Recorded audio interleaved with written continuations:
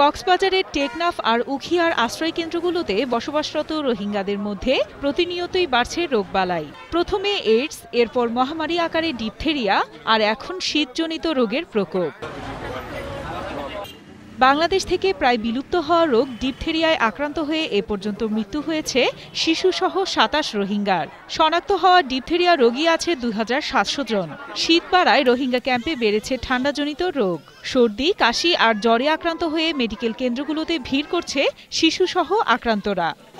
ঠান্ডা হয়ে বাতাস বাইয়ে, বাচ্চা তো গাজর গা গালর হয়ে গাজর হয়ে লরি সরি না ফারি যে হাঁড়ি না ফারি যে আর ডারিয়া ডেলে ফেহানা করার ইয়ানলা বলে আসে এদিকে রোগের প্রকোপ কমাতে ক্যাম্পের দুই লাখ পঞ্চাশ হাজার রোহিঙ্গাকে টিকা দেওয়া হয়েছে। স্থানীয়দের মাঝেও টিকা দেওয়া শুরু হয়েছে।